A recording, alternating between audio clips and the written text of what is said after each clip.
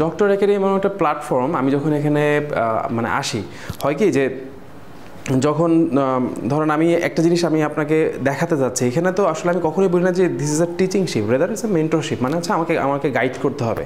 কারণ আমার মনে হয় না যে আপনারা এমন এমন অ্যামেচার বা এমন কিছু জানেন না যেটা আমাকে জানাইতে হবে। হয় কি ট্র্যাকে আনতে হয় বা বলে দিতে হয় যে আমরা, আমাদের ন্যাশনাল গাইডলাইনে যেভাবে চিন্তা করি মার্সি পরীক্ষা আমরা চিন্তা করি না। সাপোজ আমি যদি আমি যদি ফিভার নিয়ে কথা বলি, যে একটা জ্বর জ্বরের পেশেন্টদের যেটা আমি দেখছি, আমার আমার রিসেন্ট পেসেস অবজারভেশনে যেটা ছিল যে যখন জ্বরের হিস্ট্রি নেওয়া হয় বা জ্বর নিয়ে মানে শুধু প্রবলেমটা ছিল ফিভার হ্যাঁ? Fever for one month fever three or three week something like that পেশেন্টের সাথে যখন ডক্টর কমিউনিকেট করে, তারা সব কিছু কমিউনিকেশন করে সব কিছু কমিউনিকেশন করে। একটা জায়গায় যে আটকে যায় এবং ওই জায়গাটাই ফেল হয়। সেটা কি? কোনো ট্রাভেল হিস্ট্রি নেয় না। কি নেয় না? ট্রাভেল হিস্ট্রি নেয় না। কারণ কি, আমরা লোকালি যখন এটা চিন্তা করি বাংলাদেশে, আমরা পেশেন্টের আইডিয়া শুনে বুঝতে পারি যে পেশেন্টের কোন ধরনের জ্বর হয়েছে। আমরা একটা গেস করে নিই। যদি চিটাং থেকে হয়, তাহলে সেক্ষেত্রে তো ট্রাইবাল লাগে না। আমরা বুঝি যেটা ম্যালেরিয়া হইতে পারে। এমআরসি পরীক্ষাতে ট্রাভেল হিস্ট্রি আনলে ঝামেলা আছে, কারণ এটা একটা ইন্টারন্যাশনাল এক্সাম এখানে যে যে পেশেন্টগুলো আপনাকে হ্যান্ডেল করতে হবে over there in UK over there in NHS হ্যাঁ সেই পেশেন্টগুলোর অলমোস্ট সবারই মোটামুটি এরকম ট্রাভেল হিস্ট্রি থাকে। তাদের ট্রাভেল এরকম না যে, তারা এক গ্রাম থেকে আরেক গ্রাম যায়। তাদের ট্রাভেলটা ইট ডাজ মিন যে তারা থাইল্যান্ডে ওয়ান মান্থ থেকে গেছে হ্যাঁ বা তারা অন্য কোনো জায়গায় গেছে। সো এখানে এইচআইভি খুব বড় একটা ইস্যু সো দেখা যায় কি, আপনার যে ডায়াগনোসিস এমআরসি পেসেস পরীক্ষাতে আমার যে ডায়াগনোসিস ছিল, ওটা ছিল হচ্ছে এইচআইভির সেরো কনভার্সন বাট যেহেতু আমি ট্রাভেল হিস্ট্রি নিয়ে নেই আমার ডায়াগনোস হয় নাই। তখন আমি কি করছি, ওই ফিভার দিয়ে কাছাকাছি যেহেতু এই এইচআইভির সাথে টিউবার ক্লোসিসের একটা মিল আছে, ওই পেশেন্টের তো ওইরকমই ওয়েট লস হয় পেশেন্টের হ্যাঁ সোয়েট হয় সো এরকমই, ব্যাপারটা এরকম tuberculosis itself it can cause immunosuppression HIV once again it's causing immunosuppression তো তখন হয় কি, আমরা একটা ফলস ডায়াগনোসিস করে দিয়েছি টিউবার ক্লোসিস আসলে পেশেন্টের টিউবার ক্লোসিস না পেশেন্ট হচ্ছে এইচআইভি তো এমআরসি পরীক্ষাতে আপনি যদি পার্ট ওয়ান থেকে যদি এই ধরনের ওরিয়েন্টেশন না হয় so it becomes very difficult to do something better over there in places so আমি সবসময় বলি যে পার্ট ওয়ান পার্ট টু হচ্ছে আপনার সব থেকে হাইলি পোটেন্সিয়াল জায়গা, যে জায়গায় আপনি নিজেকে রেডি করবেন। হ্যাঁ স্যার একটা কথা বলছেন, আমরা আমাদের সময় যেটা দেখছি, আপনি যদি একটু মানে পিছিয়ে যান, আপনি দেখবেন এখান থেকে পাঁচ থেকে সাত বছর আগেও এমআরসি পরীক্ষাটা কিন্তু অলমোস্ট এল্ডারলিরে দিত। মানে নিউ কামারা ফ্রেশাররা কিন্তু দিত না, বাংলাদেশের পক্ষে প্রেক্ষাপটে দিত না। আচ্ছা কারা দিত? মনে করেন কারোর ফ্যামিলি অলরেডি ইউকে থাকে। তখন দেখা যায় যে সে জানে যে বাংলাদেশে তার থাকা হবে না। সো আফটার দ্য এমবিবিএস সে তখন এমআরসিবি জার্নিতে স্টার্ট করতো বা এমআরসিএস চলে যেত, অথবা ওই যে প্লাব অথবা ওই যে ইউএসএমএল এগুলো একটা কালচার ছিল। আমাদের দেশে যেটা আমরা আমরা দেখছি আর কি আমি আমার সময় দেখছি, যে কমনেস্ট প্রসিডিউর বা কমনেস্ট যে আমাদের যে ফেরোমেন আমরা যেটা দেখে আসছি, সেটা হচ্ছে এমবিবিএস পাস করি বা ইন্টারনির সময় থেকে আমরা এফ এফসিবিএস পাঠানোর প্রিপারেশন নেই ইফ আম নট রং অথবা আমরা রেসিডেন্সি প্রিপারেশন নেই। মানে আমরা জানি যে আমরা এখানেই থাকব। তার সাথে আমরা বিসিএস এর প্রিপারেশন নেই, যদি হইল তো বিসিএস এ ঢুকলাম, না ঢুকলে প্রাইভেটে বাট আমি এটাই করলাম। বয়স হওয়ার পরে অনেকে তখন কি করেন যে যখন যারা দেখেন যে হ্যাঁ নলেজ আরও এনহেন্স করা দরকার, বাইরের এক্সপোজার দরকার, তখন আমরা দেখছি বড় বড় স্যারদেরকে এমআরসিপি করার জন্য। হ্যাঁ এমআরসিপি পরীক্ষা দিতেন। ইভেন আমি যখন পার্টন দিই, আমি আমার রুমের ভিতরে যাই দেখলাম যে আমাদের পার্টন আমার দেওয়ার সময়, সে সতেরো সালের কথা বলতেছি, তখন ওখানে সিক্সটি পার্সেন্ট যে যারা পার্টন হোল্ডার ছিলেন মানে ক্যান্ডিডেট ছিলেন, তারা সবাই কিন্তু অনেক বয়স্ক মানে স্যাররা মানে আমাদের স্যাররা, সহজ কথা আমার স্যাররা। যেমন আমি আমার নিউরোলজি স্যারকে আমার পাশে পাইছিলাম, হুম? আমার ঢাকা মেডিকেল কলেজে নিউরোলজির অ্যাসিস্ট্যান্ট প্রফেসর সে আমার পাশে। আমি জানতাম না সে পরীক্ষা দিচ্ছে সবতে এটা তো মানে কেউ জানাজানির বিষয়ও না। সো দেখি স্যার আমার মানে এরকম বাম পাশে বসা। তো ব্যাপারটা হচ্ছে ওইরকমই ছিল। এই রিসেন্ট টাইমে যেটা হয়েছে এটা এটা হতে পারে, এটা আসলে মিলে গেছে হয়তো এরকম। যেহেতু বাংলাদেশ একটা ক্রাইসিস মোমেন্ট পার করতেছে মেবি এ শুধু বাংলাদেশ আপনি জানেন যে গ্লোবালি কিন্তু একটা ইকোনমিক্যাল একটা ক্রাইসিস মানে একটা ইস্যু হয়ে দাঁড়াইছে। এই জন্য হয় কি এখন নিউ কামাররা একটু বাইরে মুভ করতে চায়। এটা শুধুমাত্র কিন্তু মেডিকেল প্রফেশনের ক্ষেত্রে না। আপনি যদি অন্যান্য কোনো প্রফেশনের দিকে তাকান, দেখবেন সেম জিনিসই হচ্ছে।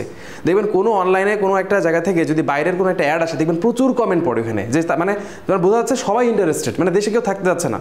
ওখানে গেলে কি হবে, না হবে, কেউ কিন্তু আমরা কিছু জানি না। তারপর আমরা ইন্টারেস্টেড মানে টু লিভ দ্য কান্ট্রি মানে এটা এখন খুব বেশি এসেন্সিয়াল হয়ে দাঁড়াইছে। এটা আসলে একটা হয়তো একটা ফলস ধারণা ফলস কনসেপ্ট ডেফিনেটলি একটা ফলস কনসেপ্ট কিন্তু সামহাও এটা আমাদের মধ্যে হয়ে দাঁড়াইছে।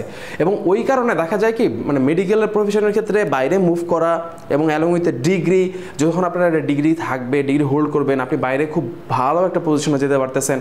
আপনি নাই গেলেন, বাংলাদেশে এমআরসিপি করে আপনি আপনার যখন নলেজ থাকতেছে এটাতে আপনি আপনার ক্লিনিক্যালি নিজেকে আপনি এখানে অনেক বেশি মানে ফোকাস করতে পারতেছেন অথবা নিজেকে অনেক বেশি স্প্রেড করতে পারতেছেন। এমআরসিপি করার এখন মনে হয় কারণ এটা একটা বড় একটা কারণ হয়ে দাঁড়াইছে। আর একটা ইস্যু আছে, এখানে ব্যাপারটা এরকম, একেবারে সোজা সাপটাভাবেই বলি। এখানে কোনো মানে আমি মনে হয় না আমার সাথে কেউ দ্বিমত করবে। এমআরসি পরীক্ষাটা হচ্ছে এমন একটা পরীক্ষা আপনি পারলে পাস, না পারলে পাস না। এখানে আপনারা কেউ এই ধরনের প্রশ্ন করবে না, বিব্রতকর প্রশ্ন করবে না যে আপনি কার আন্ডারে ট্রেনিং করছেন। রাইট এখানে কেউ কোনো দিন আপনারা এটা করবেন না। সো আপনি আপনি যে কোনো পরীক্ষা, আপনি যখন এটা যাবেন, আপনি কোথায় ট্রেনিং করছেন, কোন মেডিকেল কলেজ কানাডা ট্রেনিং করছে মানে তখনই কিন্তু আপনি মোরালি কিন্তু ইউর ডাউন সো আপনি যখন জানেন মানে আপনি এমন একজনের নাম বললেন, আপনার সুপারভাইজার সে বলল, আমি চিনি না। সো তখন আপনি বুঝে বুঝে গেছেন যে মানে what's going to happen with you later after so এটা কিন্তু এমআরসি পরীক্ষাতে হয় না। এটা এরকম কোনো কোশ্চেন করতে পারবে না। মানে নন সেন্স কোনো টক কর, তারা করতে পারে না। আপনি যখন পরীক্ষা দিতে যাবেন পেসেস পরীক্ষার আগে পেসেসের মানে রিয়েল এক্সাম শুরু হওয়ার আগে, তখন ডক্টর এসে আপনার সাথে কমিউনিকেট করবে ইউকে ডক্টররা তখন জিজ্ঞেস করে যে ডক্টর ওয়ার আর ফ্রম আপনি বলবেন ফ্রম বাংলাদেশ কেউ বলবে ফ্রম নেপাল কেউ বলবে, দেখবেন আপনি আপনার পাশেই দেখবেন। কেউ বলবে আম ফ্রম সুদান কেউ বলবে আম ফ্রম আফ্রিকা এরকম হয়। আমি দেখছি যেটা পেসেস আমরা দেখছি। ওই যে তারা এতটুকু জিজ্ঞেস করে, এতটুকুই। আপনি যখন once you are in the exam hall আপনি যখন ঢুকে যাবেন, যখন ওই ঘণ্টা বেজে যাবে, তখন আপনার সাথে এই থার্ড কোনো কোনো কথা তারা বলবে না এবং তারা ভুলেও যায়। এভাবে আপনারা তারা জাজ করে না। আপনি irrespective of the age religion sex এগুলো নিয়ে তারা কোনো ই করে না। আপনি বাংলাদেশের যে এক্সামে আপনি যে কোনো এক্সামে আপনি আমার যদি জিজ্ঞেস করেন দশজনকে জিজ্ঞেস করেন, আপনাকে ওখানে তিন চারজন এই ফিডব্যাক দিবেই যে আমার সাথে এটা হয় নাই মানে যা ওয়েল জাজমেন্ট হয় নাই। সো এমআরসি পরীক্ষাতে কি এই দিক থেকে, এই দিক থেকে মানে you are in safe position আমি বলতেছি না যে বাংলাদেশ এটা হয়, এরকম বলতেছি না বাট এটা শোনা যায়। কিন্তু এমআরসি পরীক্ষাতে আপনি কোনো দিনই শুনতে পারবেন না। এটা কোনো দিনই পসিবল না। আমরা যখন ইন্ডিয়াতে পরীক্ষা দিছি আমরা এটা শুনছি যে বাংলাদেশি ক্যান্ডিডেট ক্যান্ডিডেটদের জন্য India is a very tough position to appear the PACES at because কি? ওই যে রিলিজিয়াস একটা ইস্যু দাঁড় করা এবং হয়তো ইন্ডিয়ানরা আমাদেরকে ওইভাবে দেখে আর কি। বাট আমি যখন পরীক্ষা দিছি আমার কাছে এটা কোনো দিনই মনে হয় নাই। আমার এতগুলো কলিগ ইন্ডিয়াতে পরীক্ষা দিছে, কারোর কাছে এটা মনে হয় না মানে এমআরসিপি এমনভাবে ওরা স্ট্যান্ডার্ড সেট করছে, যেটা আপনাকে ফিল করতে দিবেই না মানে পসিবলই না। মানে আপনার যদি মেন্টালিটি নিয়ে আপনি যান, আপনি বের হয়ে আসার পরে বুঝতে পারবেন, না, এটা কোনো দিনই পসিবল না। মানে লিটারেলি আপনার মনেই হবে না যে আপনি ইউকেতে পরীক্ষা দিয়েছেন অথবা ইন্ডিয়া সেন্টারে পরীক্ষা দিয়েছেন। হ্যাঁ আপনারা, ওরা এমন একটা এনভায়রনমেন্ট ক্রিয়েট করে ওখানে, এমন একটা এনভায়রনমেন্ট ওরা তৈরি করে, যেটা আসলে অ্যাকচুয়ালি বোঝা যায় না। সহজ কথা হচ্ছে, আপনি পলিশড আপনি এডুকেটেড আপনি জানেন, আপনি পারবেন। ওখানে ওরা তিনটা জিনিসই দেখবে এবং তিনটা জিনিসই নাম্বারিং করে। একটা হচ্ছে আপনার স্কিল আপনার অ্যাটিটিউড এবং আপনার হচ্ছে নলেজ নলেজ আপনার পার্ট ওয়ান পার্ট থেকে হয়ে যাবে। হ্যাঁ এবং পার্ট ওয়ান পার্ট থেকে আপনাকে অনেক যদি আপনি খুব ডেপথ পড়াশোনা করেন, তাহলে আপনার নলেজ এটা আরও বেশি ইনক্রিজ করবে। পেসেস পরীক্ষা আর একটু টাফ আমরা আপনাকে বলব সাবসিকুয়েন্টলি যে পেসেসে কীভাবে নিজেকে তৈরি করবেন। স্কিল এবং অ্যাটিটিউডে যদি আপনার ঝামেলা হয়, তাহলে আসলে পেসেস পাস হবে না। কেন হবে না? কোনোটাতে আলাদা নাম্বারিং করা আছে। ধরেন আপনি এটাতে নলেজ স্কিলে আপনি অনেক ভালো পারছেন কিন্তু সামহাও আপনার ওখানে পেশেন্টের যে ওয়েলফেয়ার হ্যাঁ পেশেন্টের যে কনসার্ন এগুলো তো আপনার অ্যাটিটিউড দেয় এগুলো তো নলেজ দিয়ে আসবে না। কারণ পেশেন্টের তো কনসার্ন থাকবে। ধরেন, আপনার আমার চেম্বারে যখন যখন রুগী তিনটার বেশি প্রশ্ন করে, একটু হলেও রাগ লাগে। এত ফালতু প্রশ্ন করতেছে কেন? কিন্তু এটা তো পেশেন্টের কনসার্ন ওখানে তো নাম্বার আছে। আপনি পেশেন্ট প্রশ্ন করতেছে, আপনি ওই পেশেন্টের ওই কনসার্ন মিট আপ করতে পারতেছেন না, তাহলে কনসার্নে আপনার নেগেটিভ মার্কিং চলে আসবে। সো আপনি সবগুলোতে হায়েস্ট পাইছেন, কিন্তু কনসার্নে ফেল করছেন। কনসার্ন একটা পয়েন্ট মানে আমি যেমন নাম্বারিং করি না আমরা কনসার্নে একটা পয়েন্ট থাকে। সো ওইখানে আপনি ফেল করছেন মানে আপনার কিউমিলেটিভলি আপনার পরীক্ষা ফেল সো এই যে, এই ঝামেলাগুলো। এবার আসেন পেশেন্টের ওয়েলফেয়ার ওয়েলফেয়ার মানে কি? ধরুন আমার অ্যাটিটিউড মানে কোন অ্যাপ্রোচে আপনি আগাইছেন? পেশেন্ট আপনার সাথে কথা বলার সময় পেশেন্টটার একটু আপনার আপনার খারাপ মনে হয়েছে কিনা? বা সাপোজ আপনি পেশেন্টের ড্রেসে হাত দিলেন। যেমন একটা একটা ফিমেল পেশেন্ট আপনি চাইলেই তার সব জায়গায় হাত দিতে পারবেন না। অ্যান্ড সব জায়গায় বলতে তার সেন্সিটিভ পার্ট না। নন সেন্সিটিভ পার্ট আপনি হাত দিতে পারবেন না। কীরকম? আপনি অ্যানিমে দেখতে গেলেন। হ্যাঁ অ্যানিমে দেখতেছে প্রায় সময় এরকম হইতে পারে আমাদের। আমরা দুই চোখ এরকম করি। অথবা মাথা ফিক্স করার জন্য এক হাত এরকম ধরে তারপরে এরকম টান এই যে আপনি এখানে হাত দিলেন নাম্বার কাটা। কারণ এটা হচ্ছে মানে নন সেন্স টাচিং ওদের ভাষায়। এটা করা যাবে না। তো এই যে এই ব্যাপারগুলো তো আপনি না এক্সাম দিলে বা না আসলে জানবেন না, এই অ্যাটিটিউড ওরা নাম্বারিং করে এমন ঝামেলা। তো ওরা কেন যাচ্ছে? ওরা চাচ্ছে আপনাকে একদম মানে টোটাল একটা স্কিলফুল ডক্টর চাচ্ছে ওরা, একদম সেফ ডক্টর ওরা এমন বলে না যে আপনার, আপনি অনেক সব কিছু জানবেন। বিকজ এমআরসিপি করার পরে মূলত আপনি ওখানে ট্রেনিং পোস্টে ঢুকবেন এনএসএসে রাইট সো ট্রেনিং পোস্টে ঢুকার পরে কিছুদিন কাজ করার পরে আপনি কনসালটেন্ট এরকম হবেন। সো ওই ট্রেনিংয়ে যখন যাবেন, ওরা আপনাকে বানায় নেবে। আপনাকে আপনার স্কিল বলেন বা যা কিছু বলেন ওরা আপনাকে করে নেবে। কিন্তু ওই যে আপনার, আপনি আপনি সেফ অপশন কিনা বা আপনি মোটামুটি জানেন কিনা, এই জানাটা আপনার কতটুকু জানা, ওইটাকে জাজ করাটাই হচ্ছে এমআরসি পরীক্ষা। এখন এমআরসি পরীক্ষাতে যেহেতু ওরা ওদের ন্যাশনাল হেলথ সার্ভিস আন্ডারে আপনারা জানেন যে এনএসএস কিন্তু টোটালি ওদের ব্যাপারটা এমন না যে আপনি এমআরসি পাস করে ওদের ওখানে সার্ভিস দিবেন। ওরা চায় যে এমআরসিপি ডিগ্রিটা করে আপনি এনএসএস এর ট্রেনিং নেন আর না নেন। যেহেতু আপনি বিভিন্ন ওয়ার্ল্ডে বিভিন্ন জায়গায় ছড়ায় যাবেন, এই এনএসএস এর ওদের যে ধারা, এই ধারা অনুযায়ী যেন আপনি চিকিৎসা বিদ্যাটা চালাইতে পারেন। এবং আমরা জানি যে ওদের মানে ওদের যে কারিকুলাম এটাকে বেস্ট বলা হয়। এনএসএস এর কারিকুলামকে ওভার দ্য কান্ট্রি এখনও বেস্ট বলা হয়। মানে ওরা যে প্রোটোকলে রুগীটা দেখেন আর কি। সো এখন মনে করেন, যখন আপনি এমআরসি পরীক্ষা দিবেন, তখন আপনার প্রিপারেশনটা ওই রকমভাবেই নিতে হবে যে ওরা কীভাবে জাজ করে, আমাকে ওইভাবে জাজ করতে হবে, আমাকে ওইভাবেই চিন্তা করতে হবে, আমাকে ওইভাবে ডিফারেন্সিয়ালস বানাইতে হবে, আমাকে ওইভাবেই চিন্তা করতে হবে ওইভাবে চিন্তা না করলে আসলে হবে না। তো আমাদের থিঙ্কিংয়ের সাথে ওই থিঙ্কিংটা অনেক সময় ম্যাচ করে না আসলে ম্যাচ করে না। আমি যে আজকে যখন জিআইটি পড়া শুরু করব, দেখবেন আমি অনেকগুলো টপিক এরকম বলব যে আসলে এটা ম্যাচ করে না। হ্যাঁ সো আমাদেরকে ওইভাবে ওই জিনিসগুলো যখন আমরা কোনো একটা সিনারিও পাবো, ওই সিনারিও থেকে আমাদেরকে বুঝে নিতে হবে যে কোন অ্যান্সারটা রাইট হবে। এখন সমস্যা আছে এখানে একটা। সমস্যাটা কি? সমস্যাটা হচ্ছে এইখানে বলা হয় এমআরসি পরীক্ষাতে the best of the five best of the five মানে কি? যে পাঁচটা অপশন দেওয়া থাকে, পাঁচটাই অ্যান্সার ম্যাক্সিমাম কেসে তাই থাকে। ধরুন বলবে যে which one is the next step তো যখন বলবে যে নেক্সট স্টেপ তখন দেখবেন আপনি যে দেখবেন অপশন পাঁচটাই পাঁচটাই আমরা করি। কিন্তু এখন তো একটা পিক করতে হচ্ছে। তখন আপনাকে একদম গোল্ড স্ট্যান্ডার্ডটা ধরতে হচ্ছে যে এখানে আমার এটাই করতে হবে। লাইক আমি যেহেতু জেটির কথাই বলতেছি লাইক ইন হেলিকপ্টার পাইলটি বাংলাদেশের প্রেক্ষাপটে আমাদের বই পুস্তকগুলোতে বলা হয়। আমি জানি না এটা আসলে করে কিনা। করে না, কিন্তু ওই যে স্যাররা এটা শুনতে চান। আমাদের, আমরা তো এইভাবেই আসলে পড়াশোনা করে আসছি। তো আমাদের স্যারা শুনতে চায় যেমন হেলিকপ্টার পাইলটের এবং ইফ আম নট রং এটা এফসিএস পাঠানোর খুবই ফেভারিট কোয়েশন আমার মনে হয় প্রতি বছর এটা দেয়। যে কীরকম? যে গোল্ড স্ট্যান্ডার্ড মানে আপনার ইনভেস্টিগেশন কি? এটা আসলে বেসিক্যালি হলো কালচার হ্যাঁ এইচ পাইলটের কালচারটাই হচ্ছে গোল্ড স্ট্যান্ডার্ড মানে আমার মাইক্রোস্কোপিক কালচার বাট এমআরসি পরীক্ষাতে এটা অ্যান্সার না। তো অ্যান্সারটা কি? ওদের ওদের অ্যান্সার হচ্ছে আপনার ইউরিয়া ব্রেথ টেস্ট হ্যাঁ ওরা একটা নন নন ইনভেসিভ টেস্ট করে, সেটা হচ্ছে ইউরিয়া ইউবিটি বা না urea breath test carbon fourteen urea breath test এখন ধরেন আপনি রেসিডুয়াল নলেজ দিয়ে আপনি জানেন যেটা কালচারই ধরা হয় বাংলাদেশে, এটাই বলে ডেভিডসনে আছে। এই যে এই যে থিঙ্কিংগুলো এই থিঙ্কিংগুলো আপনাকে ঝেড়ে আসতে হবে। এমআরসি পরীক্ষাতে ডেভিডসনে কি আছে? ডেভিডসনে আছে কি না হ্যাঁ এই যে আমরা যে আমাদের স্যাররা যেভাবে আমাদের প্রশ্ন করে ডেভিডসন কয়বার পড়ছো? কি পাইছো? না, এইগুলো ওইখানে না এগুলো, এই ধরনের কোনো কথাবার্তার কোনো ভ্যালু নাই। হ্যাঁ ওখানে কোনো কোনো কথাবার্তার ভ্যালু নাই। বেসিক্যালি ওরা টেক্সট বুক থেকে বারবার গাইডলাইনের দিকে বেশি ফোকাস করে। টেক্সট বুক কোনটা এটা জিজ্ঞেস করে না অ্যাজ পার গাইডলাইন যেমন আপনি যখন ইসে যাবেন বা পেসেস পরীক্ষায় যাবেন, তখন আপনাকে সিও ধরেন আপনার একটা কেস পড়ছে অবস্ট্রাকটিভ লাং ডিজিজ তো অবস্ট্রাকটিভ লাং ডিজিজ আপনি ডায়াগনোসিস করে ফেলছেন this the case of the obstructive lung disease I have some differentials for this this might be bronchial asthma this might be COPD this might be also bronchiectasis suppose আপনি পাইলেন, তো তখন ওরা আপনার জিজ্ঞেস করবে as per the GOLD guideline can you tell me the latest guideline for COPD এভাবে ওরা আপনাকে প্রশ্ন করে। অথবা as per the GINA guideline can you tell me the treatment plan for bronchial asthma তো তখন কিন্তু আপনাকে এইভাবে আপনি তখন তখন দেখা গেছে আপনি বললেন যে ডেভিডসনের স্টেপ ওয়াইজ ম্যানেজমেন্ট বলা শুরু করলেন, এই যে তাদের মেজাজ খারাপ হয়ে যাবে। কারণ ওরা গাইডলাইন বলে। আপনি আবার ক্লিনিক্যাল প্র্যাকটিসে আসেন, আপনি দেখেন কখনোই কোনো টেক্সট বুক ধরে না। এই যে আমাদের কার্ডিওলজিতে আমি যতটুকু পড়তেছি, আমি খেয়াল করছি, যখনই গাইডলাইন মানে কোনো প্রেজেন্টেশন হয় as per the guideline never ever as per the text book কখনো, সবসময় গাইডলাইন যে ইএসসি গাইডলাইনে কী আসছে? নতুন হাইপার টেনশন ম্যানেজমেন্ট কী?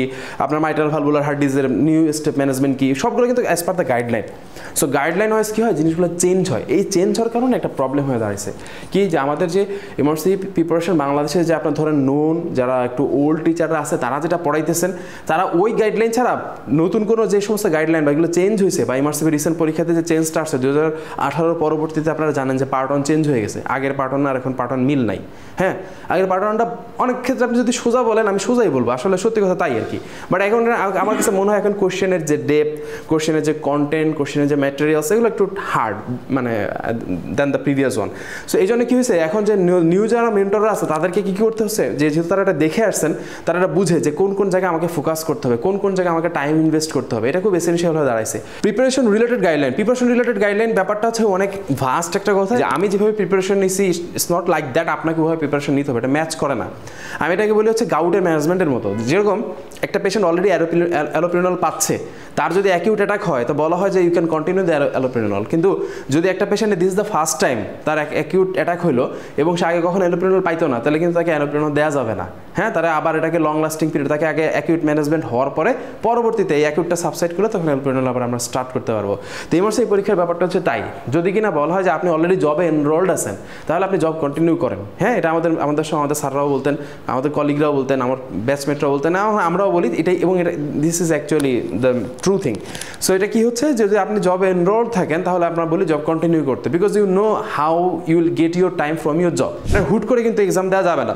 কেন দেওয়া যাবে না? আমি বলছি passing the part on doesn't mean that passing the whole university exam এখানে আপনি ইউনিভার্সিটি পার্ট অন যদি একবার তাহলে এগুলো পাস করে যান, তাহলে কিন্তু ঝামেলা আছে। কারণ পার্ট টুতে যাই আপনাকে ভোগাবে, কারণ পার্ট ওয়ানে তো আপনি ব্যাক করতে পারতেছেন না। তখন দেখবেন পার্ট টুতে আপনি কিছুই পারতেছেন না।